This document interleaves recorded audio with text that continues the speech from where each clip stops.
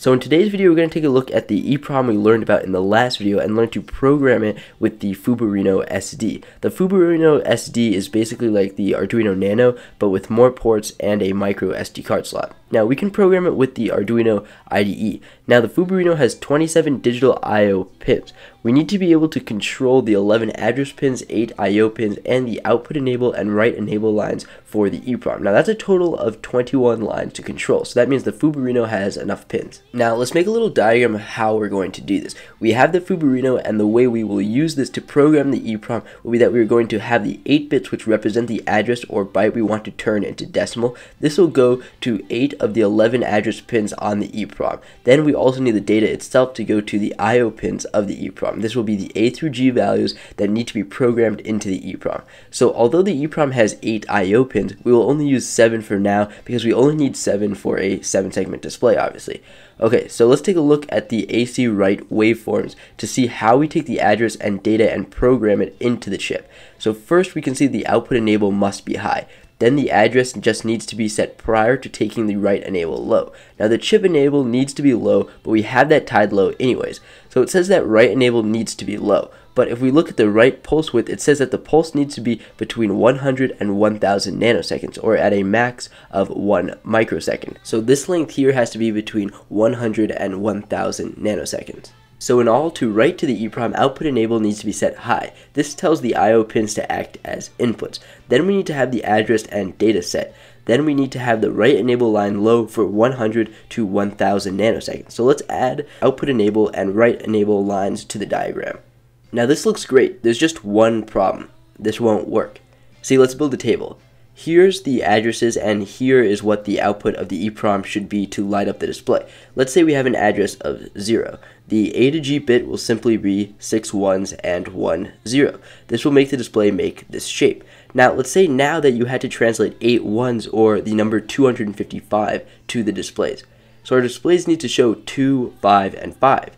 But that means we need 3 times 7 bits because each display needs 7 and we need 3 displays with 3 digits, but our EEPROM only has 8-bit outputs. So to solve this, we will have a control bit that tells the EEPROM which digit to output, or in our case, control bits, because since we need 3, we need 2 control bits. So we convert our 8-bit number to an integer, then we have control bits tell the EEPROM to output the first digit of the integer in A to G values, then the second, and then the third. So at max for 8 bits we have 3 digits because the max number is 255. So that means we need 2 bits for control. Alright, take a look at this diagram from the last video. We still have two unused EEPROM addresses, so we can put our control bits here. Now ignore the signed and unsigned bit for now. So if we have these two bits be 00, 0, then the EEPROM will output the A to G values for the first digit. And if it's 01, 1, we could say show the second digit. And if it's 10, 0, we would say show the third digit. So let's add this to our diagram. We have our 2-bit value go into the address, and that tells the EEPROM which digit to output. So now let's go to our table. So now our new 10-bit address system, we have an extra 2 bits for each address. Let's take the example of converting 255.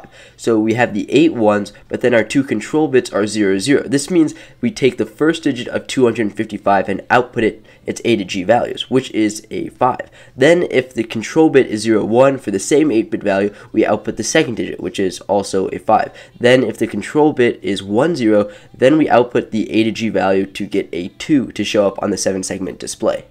To read from the EEPROM, we have the 8-bit number to convert go into the address lines of the EEPROM. Then we have a little counter that will count through 00 to 10 really fast so that the output of the EEPROM outputs the digits of the number 255 really fast. So let's get started on how we're going to program the Fubarino to make the EEPROM do this.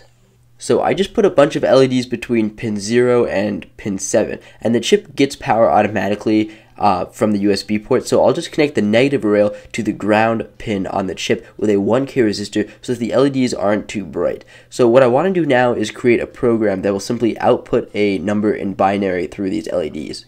So let's load up Arduino here and we'll use pin 0 to pin 7. So we'll just set those pins as outputs with a for loop. Now if you don't have a lot of coding experience, I'm not going to go over what a for loop is and things like that in this video. I've never actually used Arduino before, but I've used other languages. So in case I don't know what I'm doing or if I'm, what I'm doing is totally wrong, please just go ahead and correct me in the comments. But Next, I want to create a function or method that takes an integer number and outputs its binary value. So we'll call this method outByte, and it'll take an integer as an argument. Then we'll have a for loop and say write pin i with the value of binary representation of number at the ith digit. So basically we just convert the number to binary and then at i equals 0 we get the first digit of that binary number as either high or low. Then we set pin 0 to be whatever that is, either high or low. Then we do the same thing for i equals 1, the second digit, and so on until pin 7 or our 8th digit. So let's try this small program for the number 255, which should output all ones. To upload a sketch to the Fubarino, you need to hold the program button and press the reset button and then let go of the program button, and then we can press upload on the computer. And this is working, which is great. So let's actually just try a different value, like 3. So we can change the code and re-upload it so you can see that we get the correct representation, however the Fubarino is upside down right now. So we actually want the leftmost bit all the way on the right. So we just have to completely reflect all these values. We can do that in the code by subtracting i, the current pin, from the max pin, which is 7. And this will make the first bit be at 7 minus 0, or the 7th pin. Alright, so now we can output any value we want in binary. Alright, so while we're here, we might as well assign the pins of the Fubarino. So we'll make pin 0 to 7 be the 8-bit number to be converted. Then we'll have pins 8 and 9 be the digit select we talked about earlier. Then pin 10 will be our output enable, pin 11 will be our write enable, and lastly pin 12 through 18 will be the A to G values.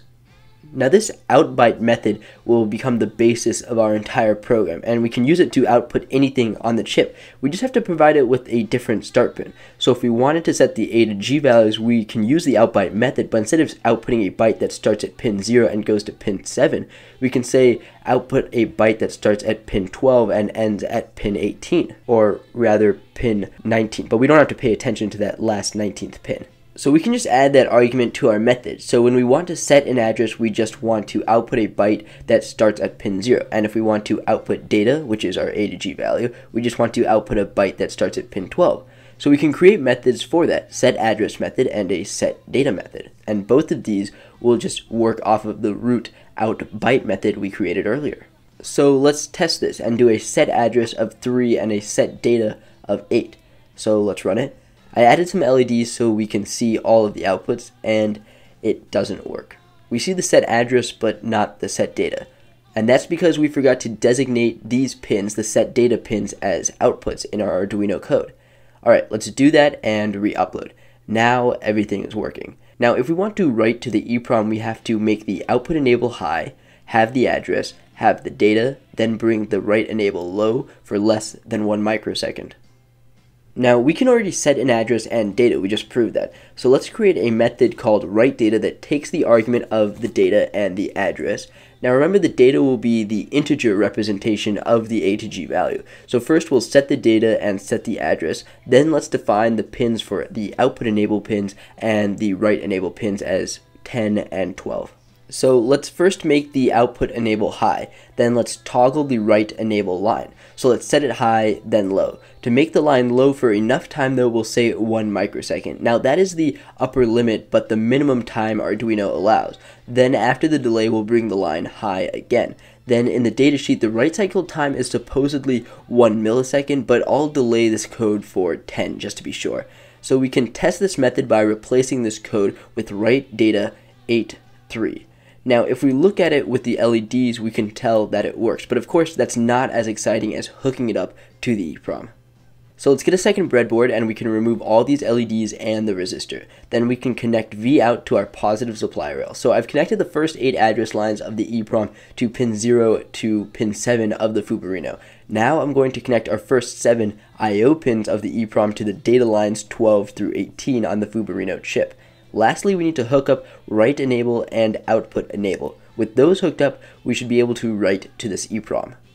So let's run the code and we'll pop this EEPROM out and put it into the reader we built in the last video. And I'll just go to address 3 and yep, we get 8 out in binary on the LED strip. So we successfully programmed one byte into this EEPROM. And in the next video, we'll build a program to program all the A through G values. And we can get one step closer to finishing this converter. So please like this video if you liked it and subscribe to see more like this. My name is Ahkeel Mohideen and I will catch you guys later.